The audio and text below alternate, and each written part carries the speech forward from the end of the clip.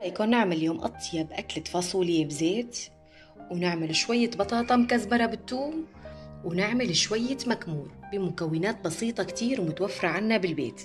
يعني حبتين بطاطا ثلاث حبات باذنجان صغار وحبتين بندورة وكمان عندي نص كيلو فاصوليا. عملت أطيب الأكلات. تابعوا معي طريقة التحضير لنعمل أطيب ثلاث أكلات توفيرية اقتصادية والطعم بتاخد العال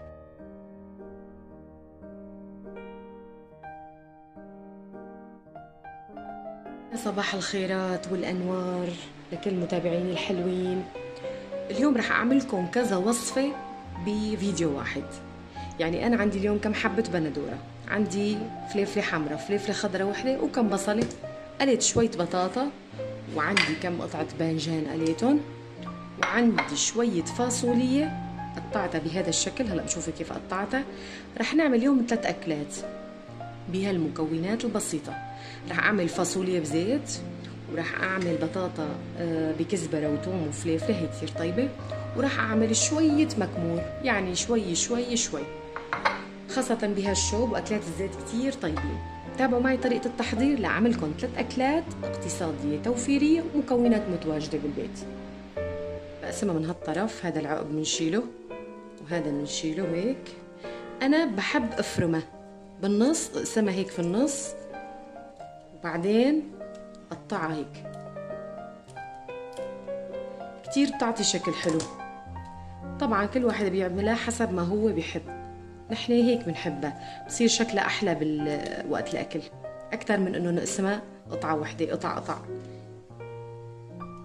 رح خلص الكمية كلها وأرجع لكم.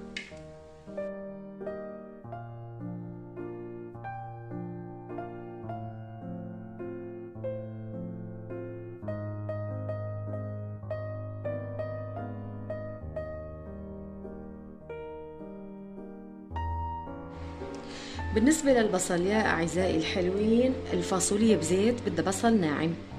والمكمور بنعمل له بصل خشن ترانشات. فراح أعمل أول شيء البصل اللي بنحطه للمكمور مكمور الباذنجان يعني يكونوا هيك شرائح. والفاصولية آه بده يكون البصل ناعم. في ناس ما بيحطوا بصل بيكتفوا بالكزبرة والثوم لا بالبصل بتطلع كتير الطعمة أطيب. بنصحكم تجربوها. هلا هدول هدول رح احطهم للمكمور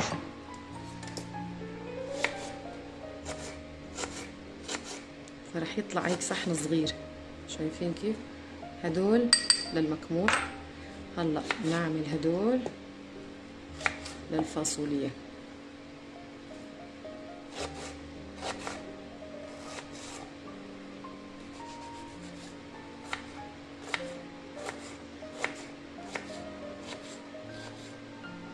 إيه هيك بكفي؟ بصل للكم وراح أفرم فليفلة لل كمان للمكمور. فرمها بهذا الشكل. شايفينها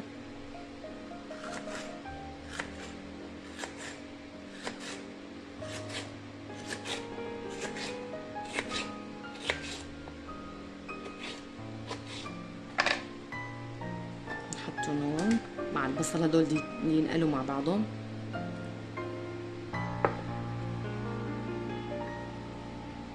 وعندي هالفليفله الحمراء شايفينها كيف؟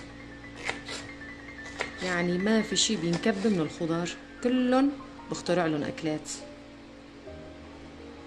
كمان بنحطهم. هدول للمكمور. هلا بنجي على البندورة. البندورة للمكمور كمان ترانشات.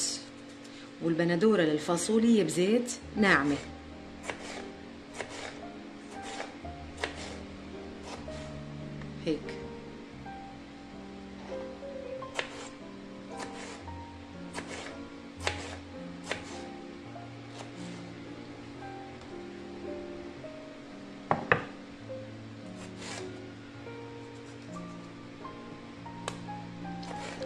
والبندورة للمكمور كل ما كترت بتطلع الطعمة أطيب.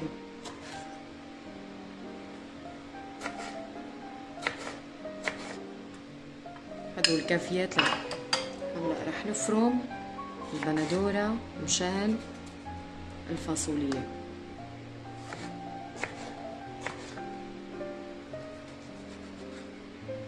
بفرمهم ناعمين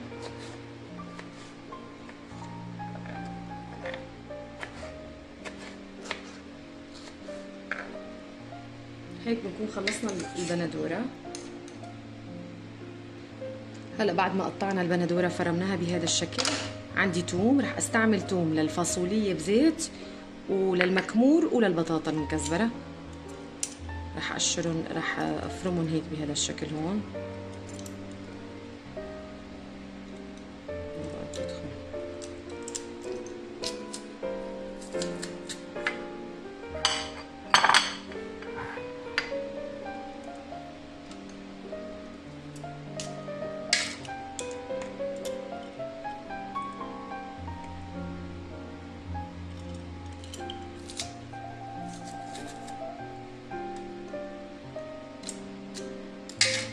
بتحبوا بهي هي كمان كتير كتير رائعة ممتازة هدول جايبتهم معي من تركيا. وهلا يا أحبائي بعد ما خلصنا كل هالفرم وهالأغراض رح نبلش أول شي بطبخ الفاصوليا. رح أحط الطنجرة رح أحط شوية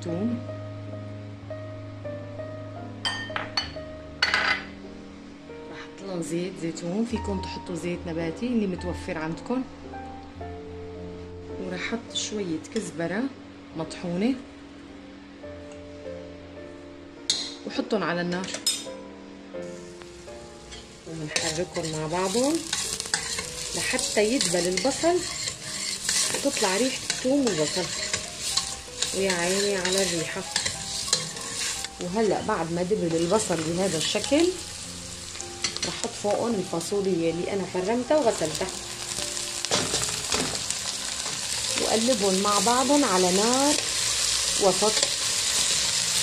وغطي النار ضل قلبهم لحتى احس إنه الفاصوليا استوت وتغير لونها هلأ رح اشيلها شوية ملح. الملح بيساعد إنه الفاصوليا أو الخضار يدبلوا بسرعة.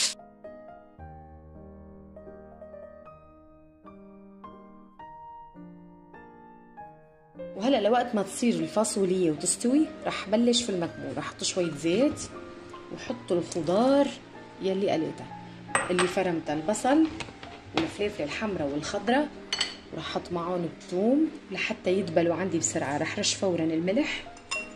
وحط نعناع. في ناس ما بيحطوا نعناع المكمور الحلبي ما بحطوا له نعناع وثوم بس هي طريقة كتير طيبة بيعملوها أغلبهم أهل أدلب.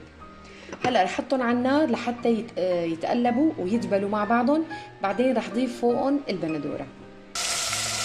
وهي هيك الخضار عم يتقلوا مع بعضهم آه في ناس ما بيحطوا حمض أنا بحط ليمونة أو شوية ملح الليمون. كثير بتعطي طعمة طيبة طعمة البندورة والحمض والملح. جربوها ما بتندموا ابدا. المكمور بيطلع معي ناجح جدا. هلا بس يدبلوا. حط شوية حمض يعني نص ليمونة مع عندكم حطوا شوية ملح الليمون وبعدين نضيف فوقهم البندوره وهي عندي الفاصوليا كل شوي بقلبها لحتى تستوي على نار هادية. كمان بعدين بضيف فوقهم البندوره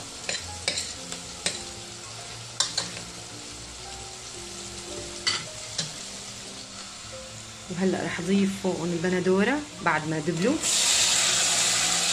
وهيك رح أستنى البندورة لحتى تدبل وتنزل ميتها وتستوي. وآخر شيء بضيف الباذنجان يلي أنا قليته. هلأ بعد ما تغير لون الفاصوليا واستوت رح ضيف فوق البندورة.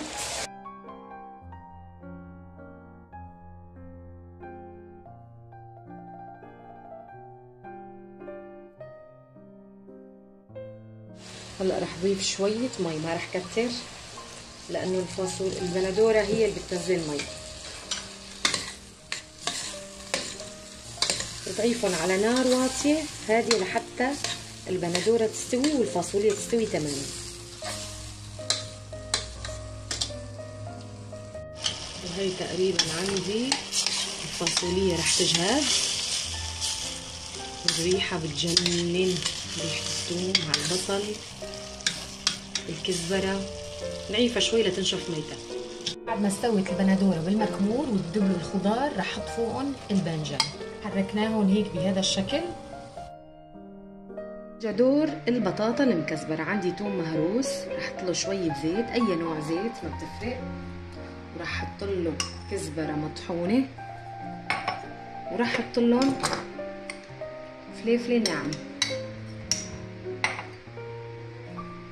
بيعطي طعم كتير طيبة وبيعطي لون حلو للبطاطا. رح احطهم على النار لحتى يدبلوا بعدين رح أحط فوقهم البطاطا.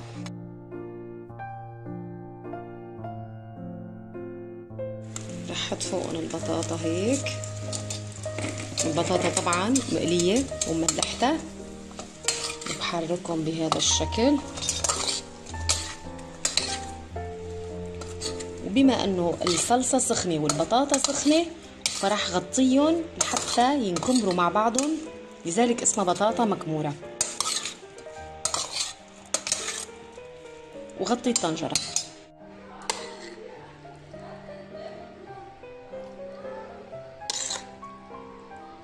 هلا رح نسكبها هون. وهي بيكون اخر الفيديو لنا لليوم عملنا أطيب فاصولية بزيت فاصولية خضراء. عملنا بطاطا مكزبره مع الكزبره والثوم والفليفلة. طبعا عنا مخلل وعملنا أطيب أطيب مكمور. رح أحط لكم كل الوصفات بصندوق الوصف كل الوصفات آه، فيديو بصندوق الوصف فيكم تشوفوهم للمخلل وللمكمور وللبطاطا وهي الفاصولية عندي جاهزة. وهيك بيكون انتهى الفيديو لنا لليوم. إذا حبيت وصفاتي تابعوني على قناتي على اليوتيوب قناة مطبخ الحلبي وفعلوا زر الجرس ليصلكم كل جديد. وشكرا لكم على المتابعة.